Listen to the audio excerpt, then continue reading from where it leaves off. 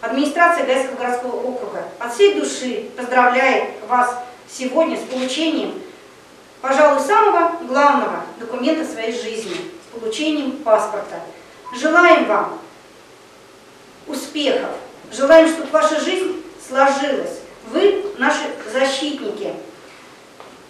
Не сомневаемся, что вы будете настоящими патриотами России и будете всегда любить свою Родину.